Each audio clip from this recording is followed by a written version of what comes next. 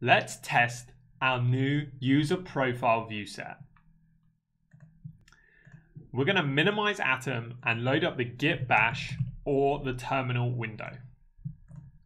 Switch to our profiles REST API location and make sure the Vagrant server is running by typing Vagrant up. Okay, so I'm going to connect to the Vagrant server by typing Vagrant SSH.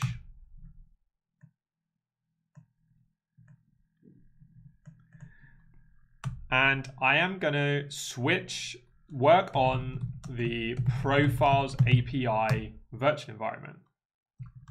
All right, now I can switch to the root directory of our profiles REST API project. So cd slash vagrant slash src slash profiles project, hit enter.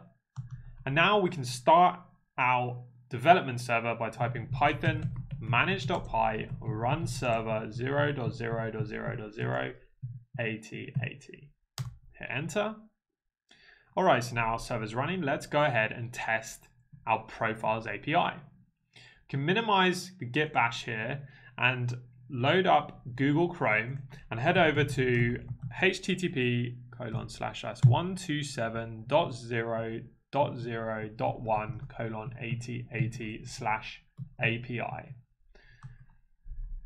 You might notice here that in the API root page, we have an additional entry to the list of APIs that are available. So underneath our hello view set, we have our new profile API. Click on that to head over to API forward slash profile. So this is the list feature of our profile. This is doing a HTTP GET to our forward slash API forward slash profile endpoint. This is listing all the users we have in the system. You can see we only have one user at present, and that is the administrator user that we created earlier.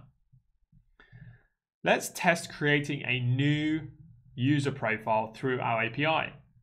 If you just click on post here without typing anything in, you can see that the validation fails and it returns a HTTP 400 bad request and it gives a list of errors for each of the fields that we try to submit.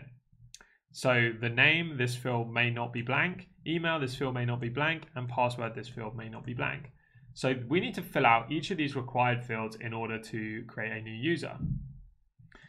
Let's create a new test user and I'm just going to call mine test at londonappdeveloper.com. Give it the name test user and we'll give it the password. I'm going to use the same password I used before with awesome1 with a capital A. Hit post to create the user and it returns the newly created user object in the response. So it returned a HTTP 201 created and it returned the user object that's just been created. So it added a new user with an ID number two and it created with the email, email and the name. And you can notice that it doesn't return the password because if you remember when we defined our serializer, the password was set to write only. So the password doesn't ever get returned by the API. Okay, so we can test updating our user. If you click on the uh, URL here and then just hit enter to go back to the root of the API, you can see that now there are two users in the system. The first user, which is the admin user, and the second user, which we just created.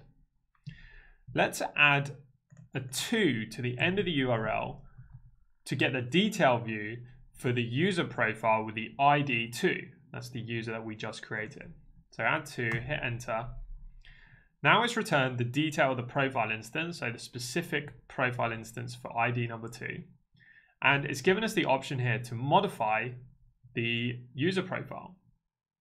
So we can modify it by either using put or if we click on raw data here, we can modify it using patch. Let's test out modifying it using patch. So let's delete the ID because we can't change that. And let's delete the email from this. And let's only update the test user name. So the name field, we'll call it test user 2. And hit patch. And you can see that it returned the object, but it updated the name to test user 2. So we go back to the root of the API, you see that the name has been updated.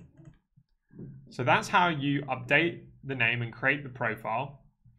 Looks like our user profiles API is working. Let's commit our changes to Git. Minimize Chrome and load up a new Git bash or terminal window and change to our profiles REST API location. Type git add to add any new files and then type git commit hyphen am. Give it a message added profile listing and creating feature. Okay, so we successfully created a user profile API. Thanks for watching and I'll see you in the next lesson.